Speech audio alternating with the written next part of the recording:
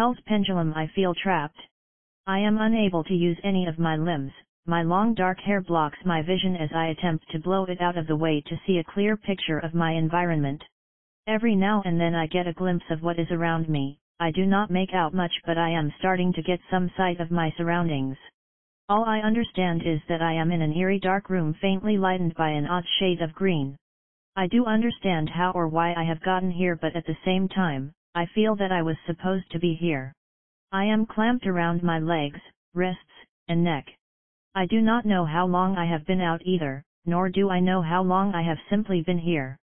Every now and then as I attempt to shake my body free of this odd grip that is holding me still, I feel a scratchy texture at my right arm. I get the idea to whip my head left then immediately turn right to remove this damned hair from my face, so I did. The faint eerie lighting, my eyes have not adapted yet but I just make out a dark room. No doors, simply an empty room with scattered pages all over the floor, although I am not able to make out what they state. Underneath my body I feel a weird dry wet texture, I realize it is blood as I see blood to my side from my peripheral vision. I know it is not mine but I also know that it cannot be too old. I yell out for help, but no success. No one can hear me, or so I thought. I yell again thrusting my upper body upwards, and as I come back down I feel that damn texture again, I get frustrated and I try to shift it into my sight. At first sight I had no idea what it was, then I realized, sandpaper. I begin to think, what the hell can I do with a sheet of sandpaper? I have an idea that I am afraid to attempt it but I decide to try it, I start to shift the sheet to my right wrist, one of the points that I am clamped in, and I begin rubbing the clamps with the sandpaper. The sandpaper is now rubbing against the metal, quickly turning itself into grinding. And that grinding is also making the sandpaper grind against my skin, then my flesh. I then channel that hellish pain into aggression. Only powering the grinding harder, and harder. I feel the restraint becoming weak, and the blinding pain from my wrist is starting to calm me down. I begin to shift the sandpaper to my other wrist in hope of success there, and I get it to the clamped wrist. I begin grinding with pain again, once again channeling pain into aggression. It is working, but not completely, my wrists are now burning and I am too weak now to break the chains with the power of strength.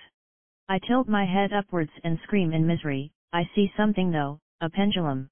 By now I am panicking and that pendulum does not seem to moving anywhere anytime soon. I just close my eyes, I hope to just die of starvation. Suddenly, I am awoken, the side of my body is feeling a type of pain I wasn't before, like little mouths ripping me apart. I suppose it was true, I look down to see a filthy rat. It looks like he has friends too. My first view was, well, looks like I'm going to die as dinner. After that I thought, that since they are ripping of flesh then eating it, I can make them rip off my flesh and make them nibble through the metal, as I realize I have made it weak enough. Genius. I put my plan to action, I try to nudge the little pests up to my neck, where I plan to make them cut through that so I can get better views. I may have to wait through excruciating pain, but I will get myself freedom. The rats are almost there. Ah! I thrust my head upwards, knocking back some rats and forcing them to move of somewhere else, coincidentally up my arms, to my wrists. The force of my head broke my neck free and teared the metal's final bits. I open my jaw to feel around my neck, I can feel the raw flesh torn open by the rats. I have never felt like this before, this is outrageous. I must deal with it for my own life though. I am thinking so hard I forgot about the pain at my wrists, I start really feeling it as the rats start nibbling away at my already torn wrists. This should go by a lot faster as I have already weakened the metal quite a bit. I look back at the pendulum, it is actually swinging. How? It was not moving an inch before. I look further and find a painting facing downwards at me. It was a man with long hair and a bone-chilling evil grin. I hated it so much, I could not stand to look at it. I start yelling at the rats to eat. Feast you scums! Feast on me! Then I stop, this is driving my sanity out of control. I should just stay on focused on escaping, still confused on it because I remember that there are no doors. I use my neck now, looking around. Oh, it feels so good to use it again. Still no doors though, no roof nor floor hatches. I am totally closed in with this device of torture and that picture. The pendulum seems to be speeding up now.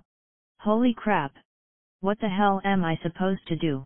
My life depends on these rats to break me free, hurry up. Eat, eat, eat. I am screaming upwards in the pain, I can now start to see bone, then I saw something that just drained the life out of me.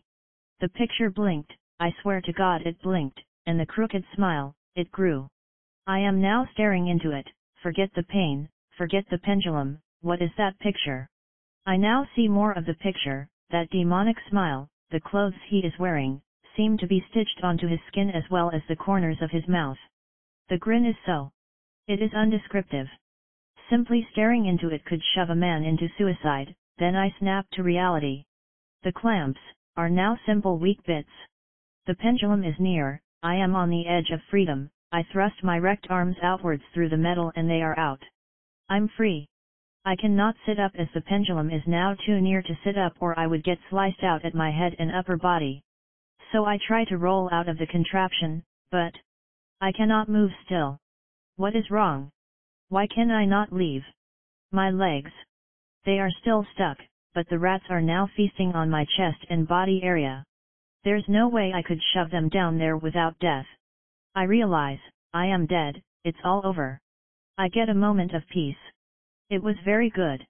I see visions of my kids, my wife, and all of us posing in front of our house when we first got it then I look closer, in the window, is that man smiling at the camera, like I was supposed to notice it now. I cut my visions back to reality, I look at the picture, still facing downwards at me, and I say, go to hell, bitch. Now, I see it clearly. It blinked and its smile grew bigger, yet creepier.